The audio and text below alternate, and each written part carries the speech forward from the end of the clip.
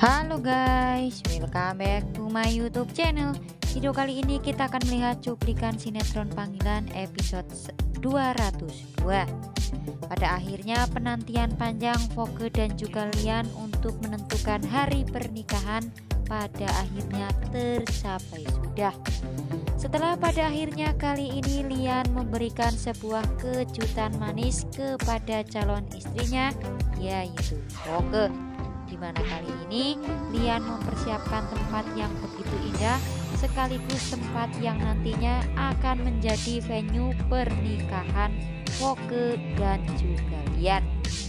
Dan kali ini Lian menyatakan di hadapan Vogue bahwa nantinya pernikahan impian dari Vogue benar-benar akan segera terwujud sesuai dengan harapan dan juga keinginan Vogue. Namun di sisi lain Vogue merasa sedih karena tidak memiliki keluarga satupun. Walaupun masih ada Raymond, tapi Raymond tak tahu keberadaannya. Namun kali ini Lian lagi-lagi meyakinkan bahwa keluarga Lian adalah keluarga Vogue juga dan Vogue tak perlu bersedih karena hari pernikahan menjadi hari bahagia bukan hari sedih untuk Vogue. Kali ini Vogue benar-benar tak menyangka pada akhirnya impian pernikahannya benar-benar akan diwujudkan oleh Lian. Wah, makin penasaran ya guys akan seperti apa nantinya pernikahan yang diusung oleh Vogue dan juga Lian. Mengiring kali ini mereka benar-benar tengah mempersiapkan pernikahan mereka yang benar-benar sebentar lagi akan segera berlangsung di tempat di mana kali ini Lian memberikan surprise ataupun kejutan kepada Vogue.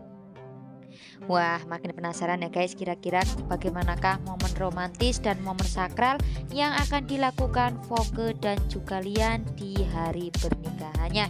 Dan kali ini kebahagiaan memang tengah dirasakan oleh Vogue dan juga Lian. Namun tak hanya mereka berdua, namun Mala dan juga seluruh keluarga Prik benar-benar merasa bahagia karena keputusan Lian untuk segera menikahi Vogue akan segera terwujud dan tidak ada kata menunda lagi di antara mereka.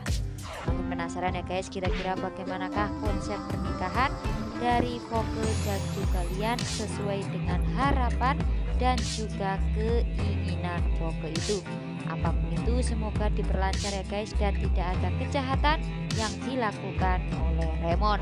Makin penasaran dengan episode besok kira-kira akan seperti apa? Saksikan terus panggilan dan sampai jumpa.